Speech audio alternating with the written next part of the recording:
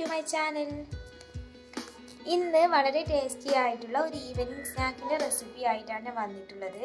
എല്ലാവരും എപ്പോഴും വീട്ടിൽ തയ്യാറാക്കുന്ന ഒരു റെസിപ്പി കൂടിയാണിത്.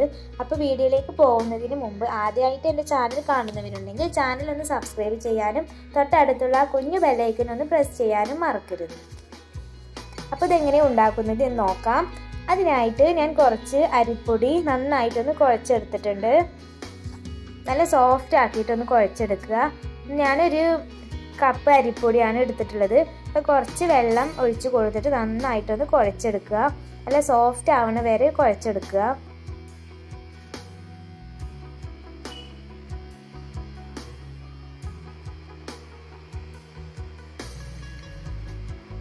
ഇനി ഇതൊന്ന് ഇതുപോലെ നീട്ടിയിട്ടൊന്ന് കുഴച്ചെടുത്തിട്ട് ചെറിയ ചെറിയ ബോൾസ് ആക്കി എടുക്കാം.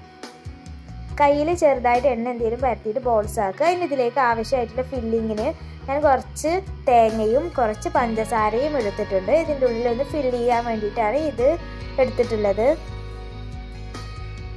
അപ്പോൾ നിങ്ങൾ എത്രയാണ് ഉണ്ടാക്കാൻ ഉദ്ദേശിക്കുന്നത് എന്ന് വെച്ചാൽ അതിനനുസരിച്ചിട്ട് തേങ്ങയും പഞ്ചസാരയുടെ അളവ് കൂട്ടി കൊടുക്കുക ഇതൊന്ന് റെഡിയാക്കി എടുക്കാം. അതിനായിട്ട് ഞാനൊരു പ്രസ് എടുത്തിട്ടുണ്ട്. ഇതിലേക്ക് നമ്മൾ ബോൾസ് ആക്കി വെച്ച ബോളൊന്ന് വെച്ച് കൊടുത്തിട്ട് ഒന്ന് പ്രസ് ചെയ്യാം. ഇതാ ഒരു പത്തിരിന്റെ ഷേപ്പിലായി കിട്ടും. അതിന് ഇതൊന്ന് കയ്യിൽ വെച്ചിട്ട് ഇതിലേക്ക് നമ്മൾ ഫില്ലിങ്സ് ഒന്ന് നിറച്ചു കൊടുക്കാം.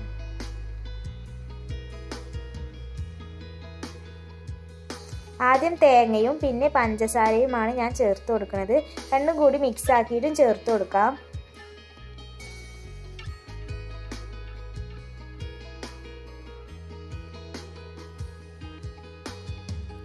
ഇത് പൊട്ടിപ്പോവാതെ ഒന്ന് സൈഡൊക്കെ ഒന്ന് നേരെ ബാക്കി വെച്ചിട്ട് ഒന്നിങ്ങനെ ഒട്ടിച്ചു കൊടുക്കാം.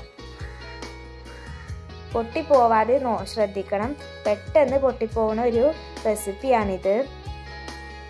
ഇനി ഇത് ഇഷ്ടമുള്ള രീതിയിലൊന്ന് മടക്കിയെടുക്കാം. ഞാൻ ഈ ഒരു രീതിയിലാണ് മടക്കിയെടുക്കുന്നത്. നിങ്ങൾക്ക് ഏത് രീതിയാണോ അറിയുന്നത് എങ്കിൽ ആ രീതിയിലൊന്ന് ചുറ്റിയെടുക്കാം.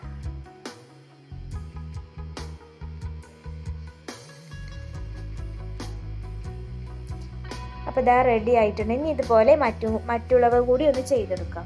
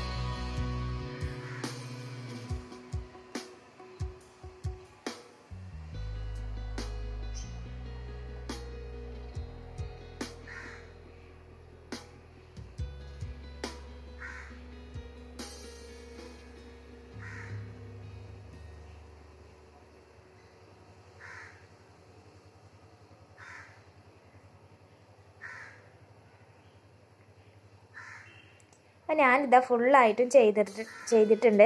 ഇതൊന്ന് ഫ്രൈ ചെയ്തെടുക്കാം.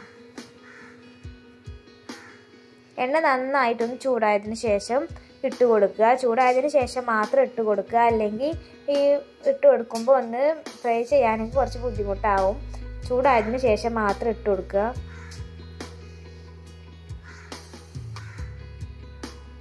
ഈ കുറച്ച് ടൈം കഴിഞ്ഞിട്ട് ഇതൊന്ന് മറിച്ചിട്ട് കൊടുക്കാം.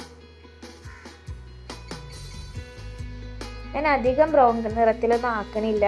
ഞാൻ ഈ ഒരു രീതിയിലാണ് അത് ഫ്രൈ ചെയ്തെടുക്കുന്നത് നിങ്ങൾക്ക് കുറച്ചും കൂടി ഒന്ന് ഫ്രൈ ആവണമെന്നുണ്ടെങ്കിൽ അങ്ങനെ ചെയ്യാം. ബാക്കിയും കൂടി ഞാനൊന്ന് പൊരിച്ചെടുക്കുന്നുണ്ട്. ഇത് പൊരിച്ചെടുക്കാൻ ഞാൻ ചെയ്യുന്നത് പൊരിച്ചെടുക്കാതെ ആവിക്കിട്ടിട്ട് വേണമെങ്കിലും വേവിച്ചെടുക്കാം. എങ്ങനെ നമുക്ക് ഇഷ്ടമെന്ന് വെച്ചാൽ അതുപോലെ ചെയ്തെടുക്കാം.